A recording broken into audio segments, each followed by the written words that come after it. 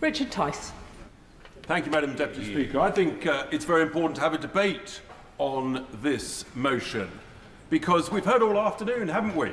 Splendid speeches, maiden speeches, but the thrust of this afternoon has been scrutiny, accountability, responsibility. And it seems interesting to me that the other House has a committee to scrutinise our relations with the European Union. Indeed, proudly today they've just announced that they've been reformed. And yet, the government wants to reform the relationship of the House of Lords. And it seems to me extraordinary. We could have a situation, Madam Deputy Speaker, where there's a committee to scrutinise relations with the European Union in the other place, but the importance of scrutiny, indeed, this of all of the 27 committees referred to on the order paper, this is the only committee that has the word scrutiny. And having been talking about scrutiny all afternoon, it's the one committee that the Leader of the House wants to do away with. And I find that quite extraordinary because we've heard from the government before the election, during the election, and since the election about the importance of our relations with our friends in the European Union and how negotiations may take place on a whole range and raft of important issues. And surely the whole point of our debate about our relationship with the European Union, people will remember, do you remember that slogan? Take back control of our borders, our money, and our laws.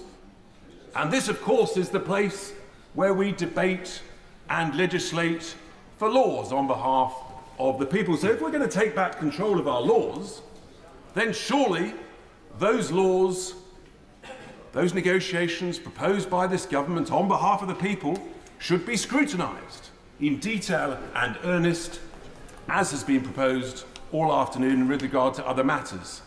So I would suggest to the Leader of the House and the government and the whips that we need to reflect on this. And could I urge the Leader of the House through Madam Deputy Speaker, actually to withdraw this motion, to reflect on it from the sedentary position of our sunbeds over the next month, and then bring it back to the House in September. um, so, uh, and that's what I would urge the. Uh, that's what I would urge, Madam Deputy Speaker. Uh, the um, yes, I will give way. Thank you thank you, honourable for giving way. Those of us who won't be on a sunbed, but will be within our constituencies do recognise the point. He and I will take a very different view as to the benefits of what this government is doing to reset our relationship with Europe, to finally get the trading benefits sorted now that we've left the European Union, to sort out the mess left by the last government with the border tax does he recognise, as I recognise, there is now a lacuna where people may question where this debate will happen and what role parliamentarians may play in it? And perhaps one of the fruitful things is to clarify what's going to happen to the European Statutory Instruments Committee, which seems to have been dissolved yet was looking at the laws that we were transposing into the UK. So there are a number of questions here that may not be for this evening but are for the future of this Parliament. And what he is expressing, he and I might disagree on the outcomes, but we both agree they are important questions and we'd like to understand what will happen next. Thank you, Mr Speaker, and I thank the Honourable Lady for her uh, constructive and positive contribution.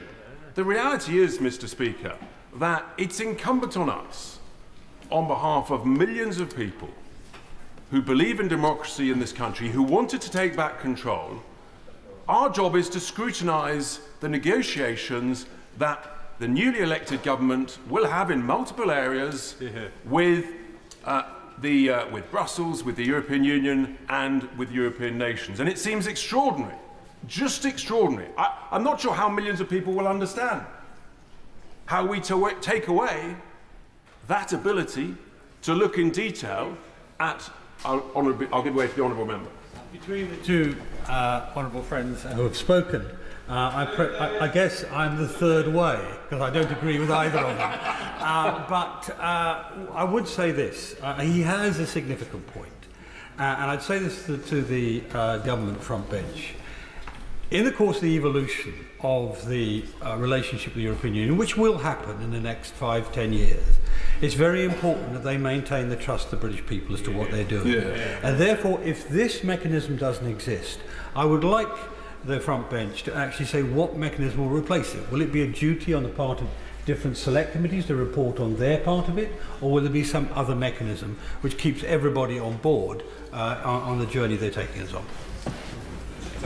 I thank the honourable member for his most helpful contribution because he has reinforced the point. Where is the scrutiny that our citizens rely on all of us to embark and to involve with the government? Because however well intentioned the negotiations of the government are, actually we have a role to play to avoid the unintended consequences. I think it's splendid that the other place has got their own scrutiny committee. And I reinforce, I haven't been invited over there, but um, I reinforce the point, which is that this is the House that is democratically elected. We are charged with scrutinising the government's negotiations with partners all around the world. And it is incumbent, I believe, on the Leader of the House, on the government, to have and to continue this European Scrutiny Committee that has existed, has done good work, and is surely the best placed to continue that focus and that good work. I will give way to the Honourable Member.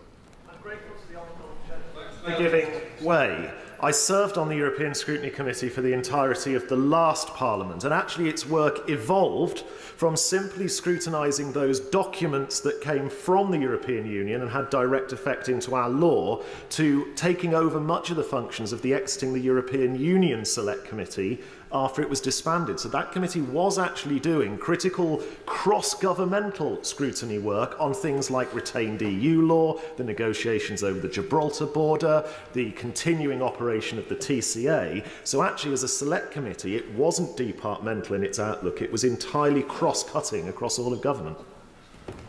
I thank the honourable member for that most helpful contribution, in a sense reinforcing the value of this committee, this focus and this determination to get the laws right for our millions of citizens.